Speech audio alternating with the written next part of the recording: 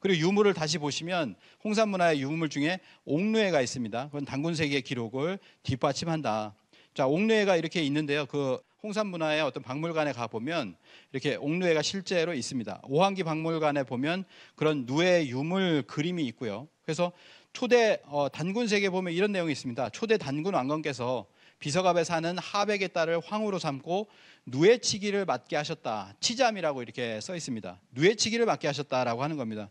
초대 단군 왕건께서 맡기셨다는 건 뭐냐면 배달국 시대부터 바로 이 누에치기가 있었다라는 것을 얘기하잖아요. 그래서 문헌적으로 봤을 때 이 옥누에라고 하는 것을 검증할 수 있는 것이 단군색이다, 환단국이다라고 하는 것을 알 수가 있습니다.